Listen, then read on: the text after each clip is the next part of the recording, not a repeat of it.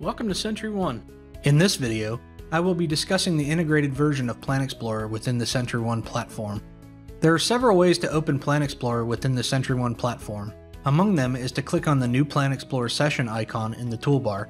Another such way is to open a Plan Explorer session by clicking on the Open button under the Plan column in the top SQL, Blocking SQL, or Deadlocks grid views.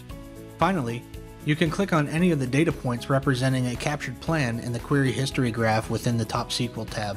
Once the Plan Explorer session opens in a new tab, you can see three additional tabs at the top left side of the session. The Command Text tab provides you with an editable version of the query text for the statement or batch that is being analyzed.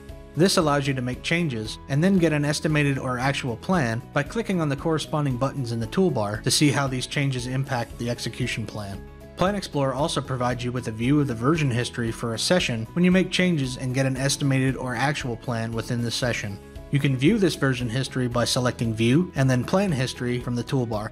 Alternatively, you can click on the Plan History tab that is docked to the left side of the client by default. The next tab within Plan Explorer that I will discuss is the Wait Stats tab. When an actual plan is retrieved with related stats within a Plan Explorer session, the Wait Stats tab will be displayed. This tab will contain any wait types that were collected, as well as any associated wait or signal times.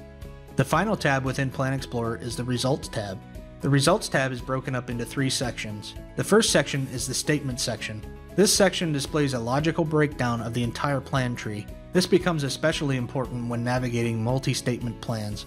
The second section is the General Query and Plan Information section.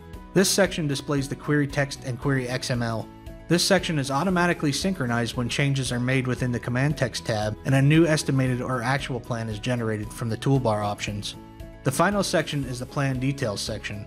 Because this section hosts such a wealth of information about the execution plan and its many tabs, it will be covered in a separate video.